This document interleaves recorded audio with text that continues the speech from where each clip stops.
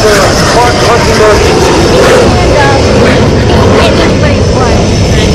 behalf of the entire Warrior Aviation Flight Team, I'd like to welcome you here to the 2014 Naval Air Station Oceana Air Show, honoring the Navy Wounded Warrior and Safe Harbor program. My name is Bill Paisley, former top hatter from VF-14, and I'm your Warrior Aviation announcer, and it is my distinct privilege to narrate today's Warrior Flight Team demonstration, which is dedicated our United States Navy Wounded Warriors.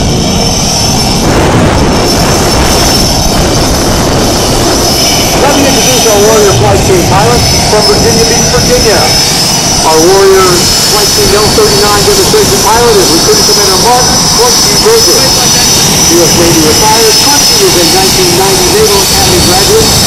He received his Wings of Gold in 1993. He retired Navy career flying the F-14 Tomcat. F-14 Tomcat aircraft demonstration pilot. And in 2002 and 2003, he did combat missions over Afghanistan and Iraq in support of operations enduring and Iraqi freedom.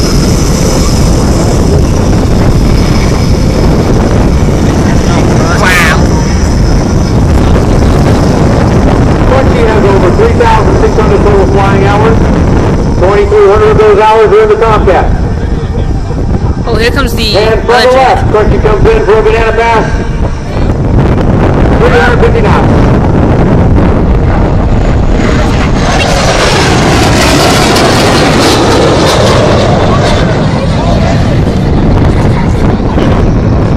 Clutchy's got 300 or 530, I'm sorry, aircraft carrier landings and 256 combat hours.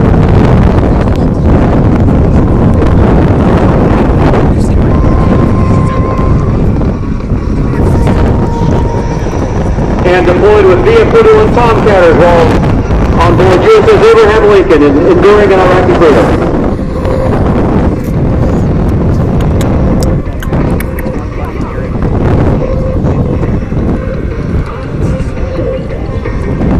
And from the right at 350 knots, Clutchy's coming in in the L-39 Albatross Vandy 1 for a loop with an aileron roll at the top.